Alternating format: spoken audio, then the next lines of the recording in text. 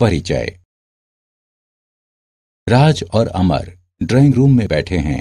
राज अपनी मनपसंद पुस्तक पढ़ रहा है तथा अमर कोई कार्य कर रहा है। अमर, मैं तुमसे कुछ पूछना चाहता हूँ। आखिर ये कैलकुलेटर कैसे कार्य करता है? ये सभी उत्तर सही सही कैसे दे देता है? हाँ राज, मैं तुम्हें बताता हूँ।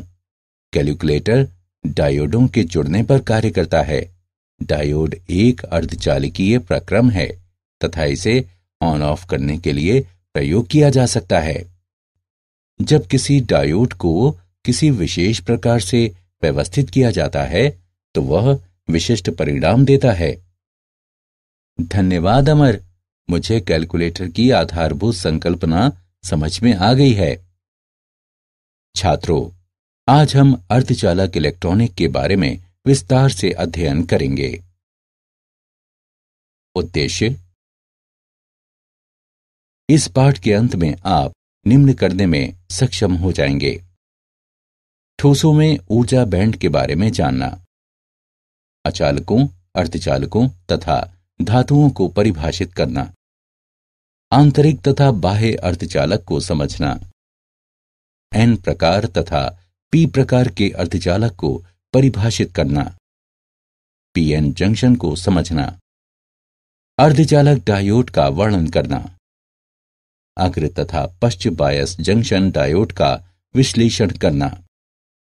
पीएन जंक्शन डायोड के वीआई गुणों का विश्लेषण करना। रेक्टिफायर को परिभाषित करना। और जीना डायोड की व्याख्या करना। ठोसों में ऊर्जा बैंड। परमाणु में इलेक्ट्रॉन किसी निश्चित नियम के अनुसार विविध कोशों में वितरित होता है, तथा उन्हें निश्चित डिस्क्रीट ऊर्जा मान रखने की अनुमति होती है। ग्राह्य ऊर्जा के मान को प्राय ऊर्जा स्तर डायग्राम पर दर्शाया जाता है। हम ऊर्जा स्तर के लिए बैंड निर्माण पर विचार करेंगे, जो संयोजी इलेक्ट्रॉन द्वारा ग्रहण किया जाता है। तथा इसके अगले स्तर पर भी विचार करेंगे। ऐसा माना जाता है कि क्रिस्टल में परमाणुओं के बीच की दूरी धीरे धीरे अनंत से घटकर आर नॉट हो जाती है जो तुल्यांक के संगत नहीं है। संयोजी बैंड। संयोजकता बैंड ऊर्जा स्तर का संयोजी बैंड है जो क्रिस्टल में परमाणुओं से बंधे संयोजी इलेक्ट्रॉन में होता है। रिक्ति अंतराल। संयोजकता बैंड के ऊपर ऊर्जा का क्षेत्र, जिसमें इलेक्ट्रॉन नहीं पहुँच सकता है। चालन बैंड। रिक्ति अंतराल के ठीक ऊपर ऊर्जा का स्तर, जो क्रिस्टल के चालक इलेक्ट्रॉन द्वारा ग्रहण किया जाता है। ये इलेक्ट्रॉन गति करने के लिए मुक्त होते हैं, तथा विद्युत क्षेत्र में अपनी ऊर्जा बढ़ा लेती हैं। अचालक अर्धचालक तथा धातुएँ।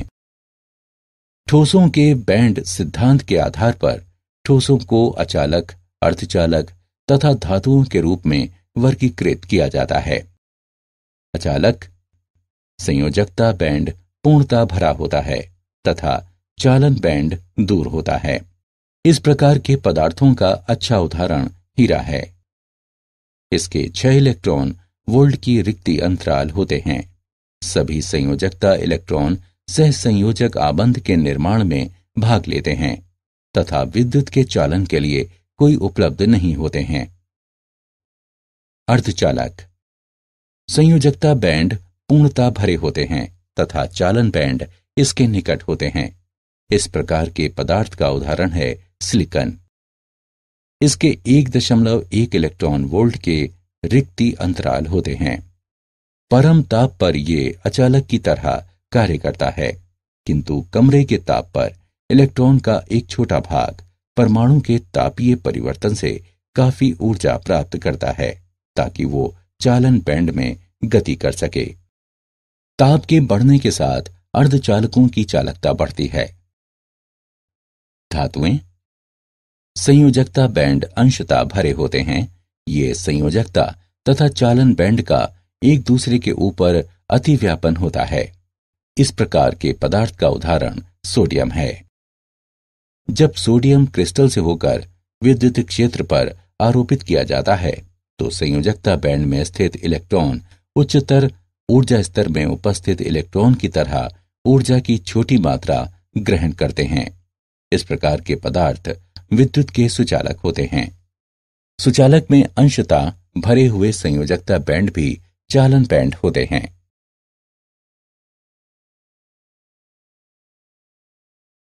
आंतरिक अर्धचालक। आंतरिक अर्धचालक वे हैं जिनमें अशुद्धियाँ उपलब्ध नहीं होती हैं तथा इसलिए परिशुद्ध अर्धचालक कहलाते हैं। ऐसे अर्धचालकों में कुछ क्रिस्टल दोष उपस्थित हो सकते हैं।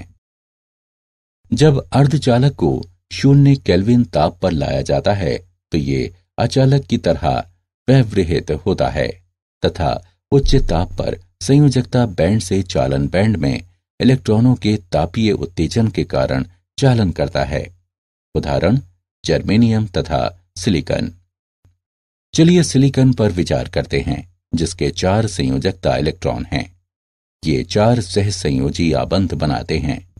सह संयोजक आबंध बनाने में जो इलेक्ट्रॉन भाग लेते हैं उसे संयोजकता इलेक्ट्रॉन कहते हैं। यदि कुछ ऊर्जा दी जाए तो सह संयोजक आबंध टूट जाते हैं। इलेक्ट्रॉन बाहर आ जाते हैं तथा मुक्त रूप से विचरण करते हैं, जिसके परिणाम स्वरूप सह संयोजक आबंध में रिक्त स्थानों का निर्माण होता है। ये धनावेश वाहक के रूप में जाने जाते हैं तथा इन्हें होल कहते हैं। संयोजकता आबंध में चालन इलेक्ट्रॉनों की संख्या रिक्त स्थानों की संख्या के बराबर होती है।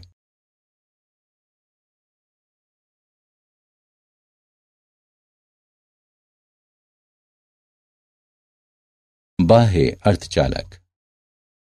बाह्य अर्थचालक वो होते हैं जिनमें अशुद्धियाँ बड़ी मात्रा में उपलब्ध होती हैं। अशुद्धियाँ तृतीय ग्रुप या पाँचवें ग्रुप के तत्व हो सकती हैं।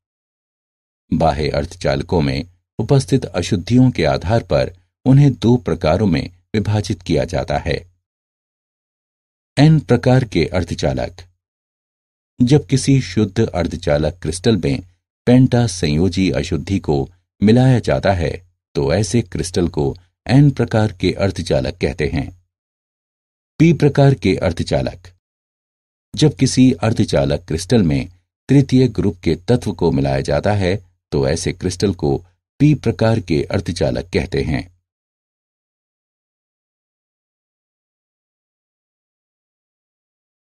एन प्रकार के अर्धचालक सिलिकॉन क्रिस्टल को सुचालक बनाने के लिए इसके क्रिस्टल संरचना में आर्सेनिक, एंटिमनी या फास्फोरस जैसे अशुद्ध परमाणुओं को मिलाया जाता है। इन परमाणुओं के बाह्यतम कोश में पाँच सह संयोजी इलेक्ट्रॉन होते हैं। जो दूसरे तत्वों के परमाणुओं से जुड़कर पेंटा सह संयोजक आबंध का निर्माण करते हैं। जब विद्युत वोल्टेज आरोपित करते हैं तो ये चार इलेक्ट्रॉन अन्य सिलिकॉन परमाणुओं से मिलकर बंध बनाते हैं, तथा एक इलेक्ट्रॉन विचरण करने के लिए मुक्त रह जाता है। क्योंकि प्रत्येक परमाणु एक इलेक्ट्रॉन प्रदान करता है, इसलिए पंच संयोजी इलेक्ट्रॉनों को प्रदाता कहते हैं। परिणामी अर्धचालक पदार्थ ऋणावेश के साथ विद्युत के सुचालक होते हैं, तथा इसे एन प्रकार के पदार्थ कहते हैं, जिसमें इलेक्ट्रॉन को प्रभावी वाहक तथा परिणामी होल को अप्रभावी वाहक कहते हैं।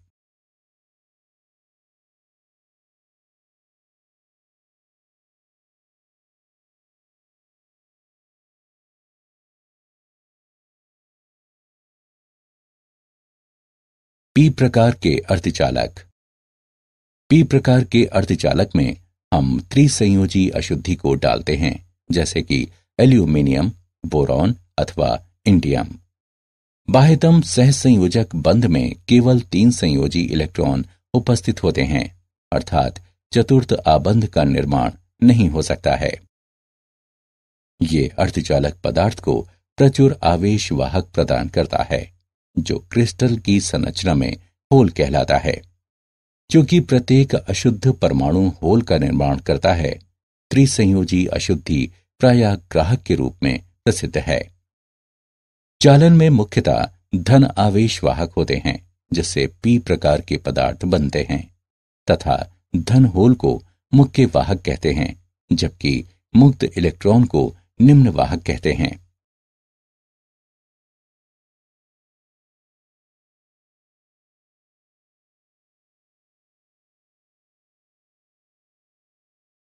अर्धचालकों के उदाहरण। चलिए, अर्धचालकों का एक उदाहरण लेते हैं। अर्धचालक के इलेक्ट्रॉन होल सांद्रण छह गुणा दस की घात आठ प्रति घन मीटर होती है। इसमें निश्चित अशुद्धि मिलाने पर इलेक्ट्रॉन सांद्रण आठ गुणा दस की घात बारह प्रति घन मीटर हो जाती है।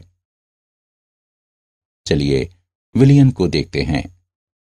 जब इलेक्ट्रॉन सांद्रण बढ़ता है तो ये एन प्रकार के अर्धचालक होते हैं।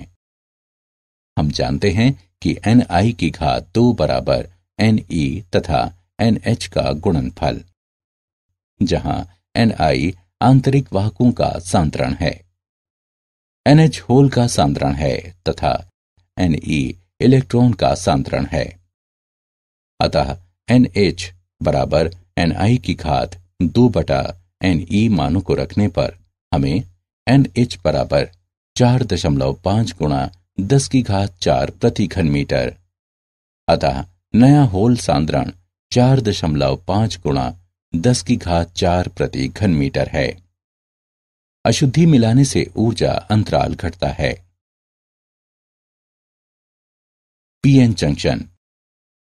यदि डोनर अशुद्धियों को एक तरफ़ से लाया जाए तथा ग्राहक अशुद्धियों को अर्धचालक पदार्थ के शुद्ध क्रिस्टल की दूसरी ओर से लाया जाए तो पीएन जंक्शन का निर्माण होता है। डोनर आयन को घन आवेश चिन्ह से इंगित किया जाता है। इसके बाद अशुद्ध परमाणु इलेक्ट्रॉन प्रदान करता है। ये धन आवेश बन जाता है। धारा कायन को ऋण चिन्ह से प्रदर्शित किया जाता है। इस परमाणु द्वारा इलेक्ट्रॉन ग्रहण करने के बाद ये ऋण आवेशित बन जाता है। आरंभ में पी प्रकार के पदार्थों में प्रचुर मात्रा में होल होते हैं तथा एन प्रकार के पदार्थों में प्रचुर इलेक्ट्रॉन होते हैं। पी क्षेत्र में होल जंक्शन की दाई ओर विसरित हो जाते हैं तथा एन क्षेत्र में इलेक्ट्रॉन जंक्शन की बाई ओर विसरित हो जाते हैं तथा पी क्षेत्र में होल से जुड़ जाते हैं। प्रत्येक ऐसे विसरण संयुग्मन घटना के लिए जंक्शन की बाई ओर ऋण आवेश को प्राप्त करते हैं, तथा दाई ओर धन आवेश प्राप्त करते हैं, जिसके परिणाम स्वरूप जंक्शन के आर पार एक विद्युत क्षेत्र उत्पन्न होता है। क्योंकि जंक्शन के क्षेत्र में चालक आवेश कम होते हैं, इसे रिक्ति क्षेत्र अथवा अंतरिक्ष आवेश क्षेत्र कहते हैं।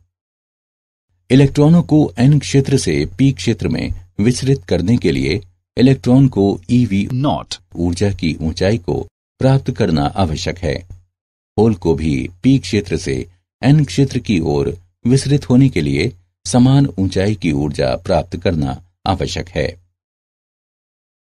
अर्धचालक डायोड।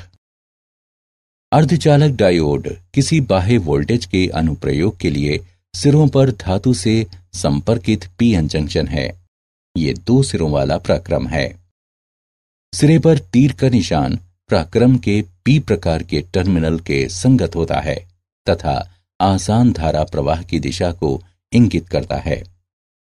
यह धारा को एक ही दिशा में प्रवाहित करने के लिए निम्न प्रतिरोध युक्त दुई टर्मिनल वाला विद्युत यंत्र है, तथा दूसरी दिशा में प्रतिरोध उच्च होता है। किसी डायोड का सबसे सामान्य कार्य है कि वह विद्युत धारा को अग्र दिशा में प्रवाहित होने देता है, जबकि पश्चिम दिशा में अवरोध करता है। अग्रदिशिक बायस जंक्शन डायोड। जब किसी डायोड को अग्रदिशिक बायस अवस्था में जोड़ते हैं तो एन प्रकार के पदार्थ में एक ऋण वोल्टेज आरोपित होता है, तथा पी प्रकार के पदार्थों में धनात्मक वोल्टेज आरोपित होता है। यदि ये बाह्य वोल्टेज अवरोधक से अधिक होता है तो पश्च अवरोधक पर नियंत्रण हो जाता है तथा धारा प्रवाहित होने लगती है। अग्र बायस अवस्था पी एन जंक्शन से होकर निम्न प्रतिरोध पथ को प्रदर्शित करती है, जो बायस वोल्टेज में केवल लघु वृद्धि के साथ डायोड से होकर बहुत उच्च विद्युत धारा को प्रवाहित होने देती है। रिक्ति स्तर के कार्य द्वारा जंक्शन अथवा डायोड से होकर वास्तविक अवरोध अंतर को अचर रखा जाता है। ऋण वोल्टेज इलेक्ट्रॉन को जंक्शन की ओर अग्रसर करता है या वहाँ से विकर्षित करता है तथा उन्हें अतिव्यापन के लिए ऊर्जा देता है तथा धन वोल्टेज द्वारा जंक्शन की विपरीत दिशा में आ रहे होल से जोड़ता है। जंक्शन डायोड पर अग्रदिशिक बायस वोल्टेज के अनुप्रयोग से रिक्ति स्तर बहुत पतला तथा संकीर्ण हो जाता है। जो जंक्शन से होकर निम्न अवरोध को प्रदर्शित करता है। इस प्रकार उच्च विद्युत धारा को प्रवाहित होने देता है। वो बिंदु जिस पर धारा में अचानक वृद्धि होती है, उसे नी बिंदु के रूप में स्थिर आईवी विशिष्ट वक्र द्वारा दर्शाते हैं।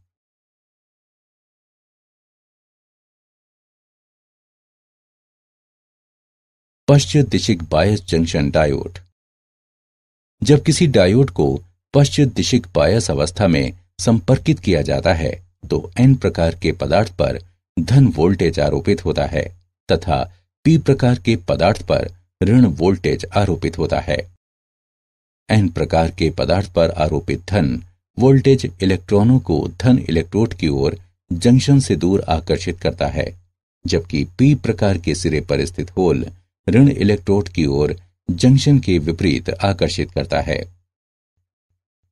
इसके परिणाम स्वरूप इलेक्ट्रॉन तथा होल के अभाव में रिक्ति स्तर बढ़ता चला जाता है, तथा एक उच्च प्रति अवरोध पथ उत्पन्न होता है, जो बिल्कुल अचालक की तरह होता है। पश्चिम बायस अवस्था पीएन जंक्शन को उच्च प्रतिरोध प्रदर्शित करता है, तथा जंक्शन डायोड से होकर बायस वोल्टेज में वृद्धि के साथ वास्तव में शून्य धारा प्रवाहित करता है। यद्यपि एक बहुत कम धारा जंक्शन से होकर अवश्य प्रवाहित होती है, जिसकी माप माइक्रो एम्पियर हो सकती है।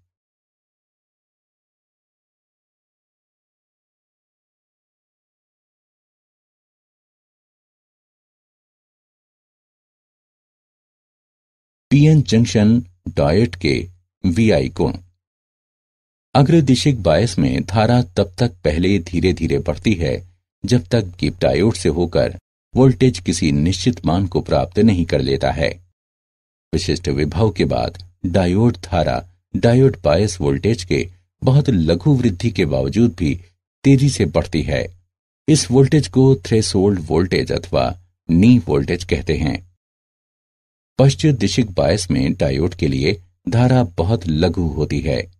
तथा बायस में परिवर्तन के साथ भी हमेशा अचर होती है। ये पश्चिम दिशिक बायस पर धारा अचानक पड़ती है। ये वोल्टेज ब्रेकडाउन वोल्टेज कहलाता है।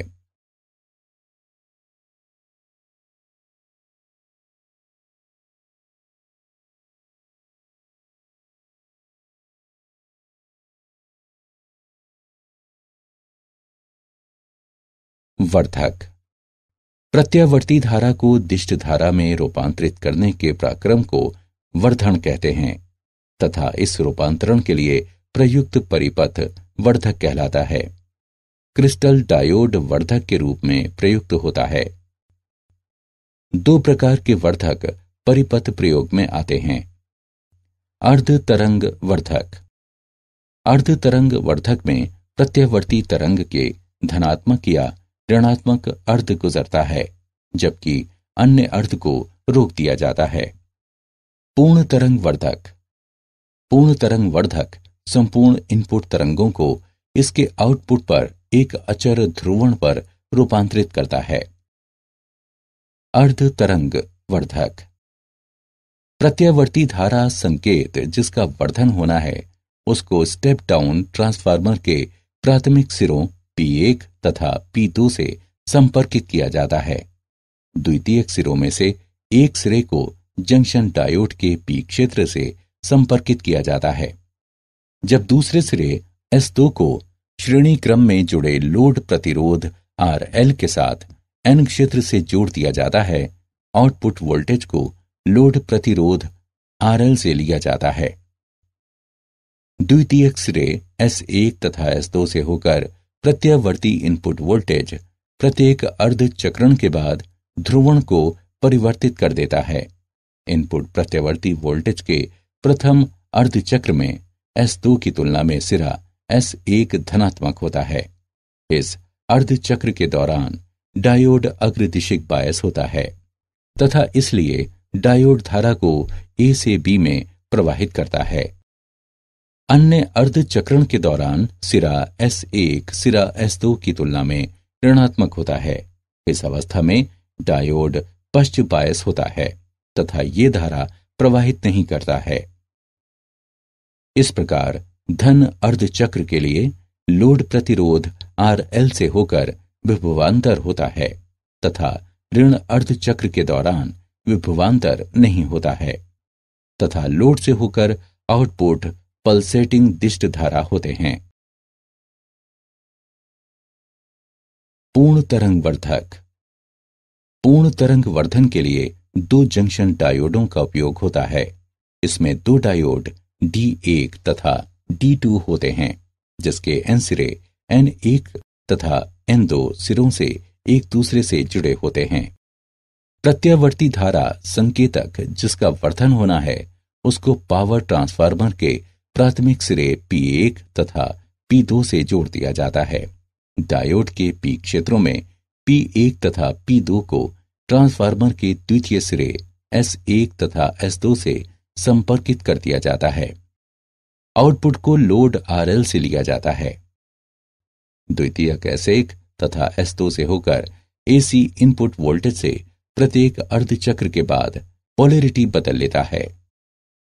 इनपुट प्रत्यावर्ती सिग्नल के प्रथम अर्धचक्र में टर्मिनल एस एक धनात्मक होता है तथा एस दो ऋणात्मक होता है। तब डायोड डी एक अग्रदिशिक बायस होता है तथा डायोड डी दो पश्चिम दिशिक बायस होता है। अतः डायोड डी एक से चालन होता है, जबकि डायोड डी दो से नहीं होता है। डायोड डी एक के कारण धारा की दिशा ए से बी की ओर होती है। दूसरे अर्धचक्र में टर्मिनल एस एक ऋणात्मक है तथा एस दो धनात्मक है। डायोड डी एक पश्चिम दिशिक बायस है तथा डायोड डी दो अग्रदिशिक बायस होता है। अतः डायोड डी दो में चालन होता है, जबकि डी एक में चालन नहीं होता है। डायोड डी दो के कारण धारा की दिशा ए से बी की ओर है। अतः इनपुट प्रत्यावर्ती धारा सिग्नल के लिए आउटपुट धारा एक दिशी पल्सज सतत श्रृंखला होती है।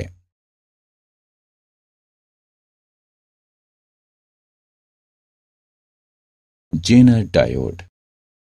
जेनर डायोड पश्चिदिशिक उचित रूप से मिश्रित क्रिस्टल डायोड है, जिसमें ब्रेकडाउन वोल्टेज तेज होता है तथा जो ब्रेकडाउन क्षेत्र कार्यान्वित करता है।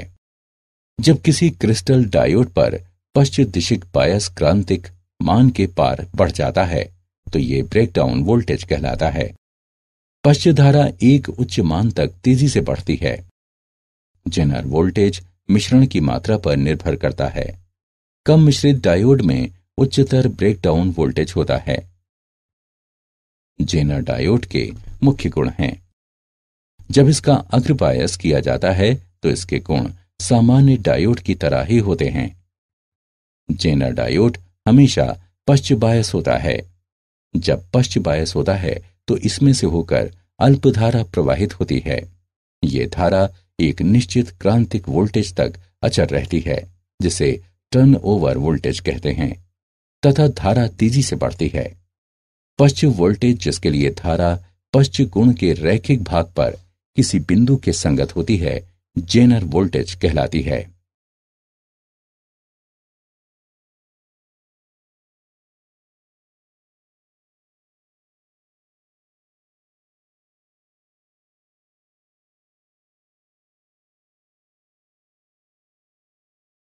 क्या आप जानते हैं? कुछ पदार्थों को अर्ध अचालक के रूप में वर्गीकृत किया जाता है। इनकी विद्युत चालकता विद्युत अचालकता के निकट होती है। एक सामान्य अर्ध अचालक का उदाहरण गैलियम ऑर्सेनाइट है। किसी इलेक्ट्रॉनिक युक्ति के लिए सिलिकॉन दिल की तरह है। आज अधिकांश अर्धचालक चिप्स तथा ट्रांजिस्टर सिलिकॉन से बनाए जाते हैं। किसी चिप का इलेक्ट्रॉनिक क्षेत्रफल वो होता है, जिसमें अल्प रसायन जैसे बोरॉन तथा फास्फोरस मिलाया जाता है, जो सिलिकॉन की चालकता को बदल देता है। सारांश। आइए हमने जो कुछ सीखा है, उसे संक्षेप में दोहराएँ। अर्धचालक में संयोजकता बैंड पूर्णता भरा होता है, तथा चालक बैंड इसके निकट होता है। अर्धचालक पदार्थ की चालकता ताप बढ़ने से बढ़ता है। आंतरिक अर्धचालक वो पदार्थ होते हैं, जिनमें मिश्रण नहीं होता है, तथा इसे शुद्ध अर्धचालक कहा जाता है। पी प्रकार के अर्धचालकों में हम क्रिस्टल संरचना में त्रिसंयोजक मिश्रण को डालते हैं, जैसे कि एल्यूमिनियम, बोरॉन अथवा इंडियम। यदि दाता मिश्रण शुद्ध क्रिस्टल अर्धचालक पदार्थ के एक तरफ़ प्रविष्ट होते हैं तथा ग्राही मिश्रण को इसकी दूसरी ओर तो पीएन जंक्शन का निर्माण होता है। एक अर्धचालक डायोड मूलतः धात्विक संपर्क के साथ पीएन जंक्शन है, जो बाह्य वोल्टेज के अनुप्रयोग के लिए अंतिम सिरों पर जुड़े होते हैं। प्रत्यावर्ती धारा को दिष्ट धारा में बदलने के प्रक्रम को प्रवर्धन कहते हैं, तथा इस रूपांतरण के लिए परिपथ को प्रवर्धक कहते हैं। जैना डायोड उचित रूप से मिश्रित एक पश्च बायस डायोड है, जिसमें तेज ब्रेकडाउन वोल्टेज होता है।